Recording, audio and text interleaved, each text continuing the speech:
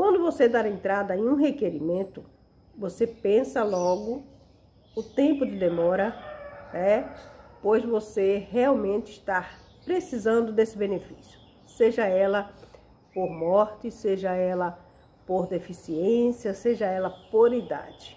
Mas é um benefício que você precisa e é um direito seu, né?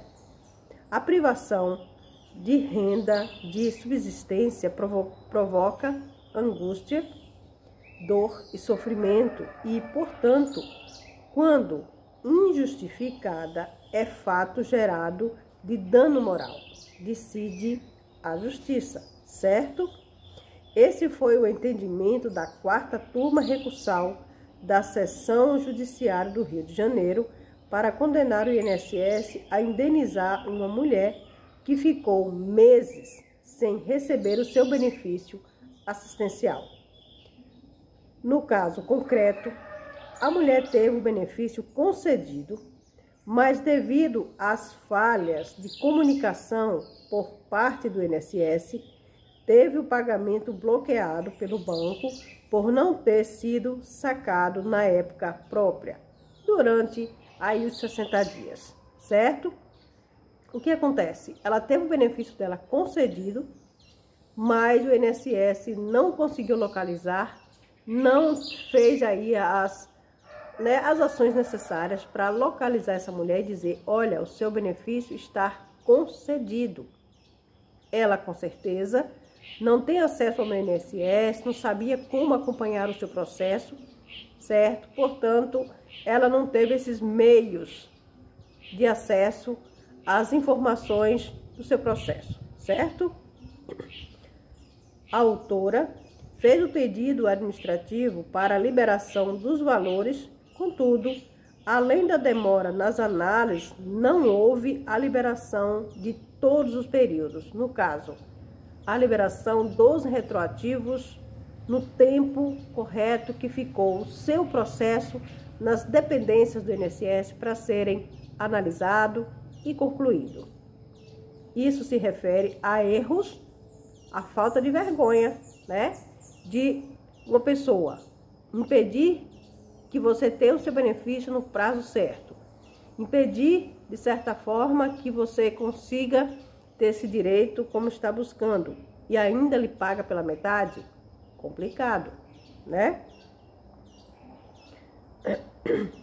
Ao analisar o caso, o relator, o juiz Marcelo Enes Figueira, aplicou que a falha na prestação de serviço gera dano moral indenizável. Fecho aspas. O benefício assistencial de prestação continuada é assegurado à pessoa com condições de extrema vulnerabilidade e a privação, que coloca risco imediato direitos fundamentais indispensáveis, ou desculpa, indisponíveis.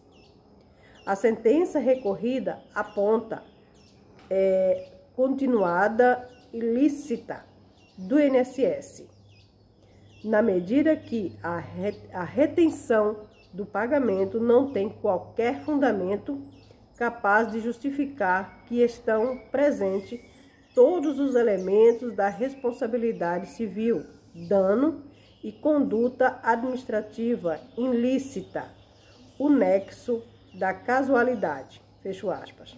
Afirmou, diante disso, ele voltou pela condenação da autarquia em 10 mil reais. Abro aspas. A condenação que merece re registro e aplauso, já que reconheceu a angústia, dor, sofrimento e até mesmo desespero de quem se viu sem a renda mínima deste benefício assistencial por meses e meses. Fecho aspas. Comenta uma pesquisadora e professora Sérgio Salvador e Teodoro Agostinho, especialista em direitos previdenciários e autores da obra do Dano Moral Previdenciário, pela editora Lujo.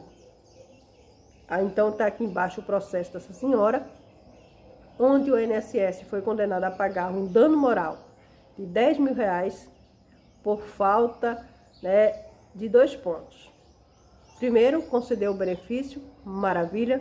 Segundo, essa pessoa ela não soube da concessão desse benefício, passou-se o período de 60 dias, né, onde o benefício foi bloqueado. Passou-se mais o tempo necessário, que é 90, né, 90 dias. Acima disso, o benefício é suspenso. Né? Então, o que acontece? Além disso, quando começou a pagar, não pagou os retroativos devidos, desde o período que esse processo entrou em fase de requerimento, análise e conclusão do processo, dando a concessão desse benefício. Outro ponto né, que deixa a desejar. E por fim, a vitória merecedora dessa senhora que, diante do seu processo recursal, teve o seu direito duas vezes garantido.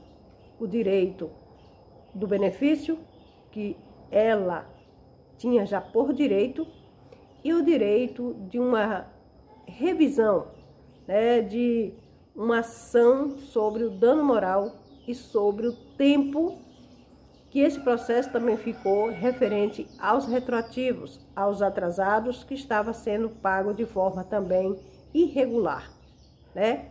Quer dizer, irregular, o INSS pode pagar.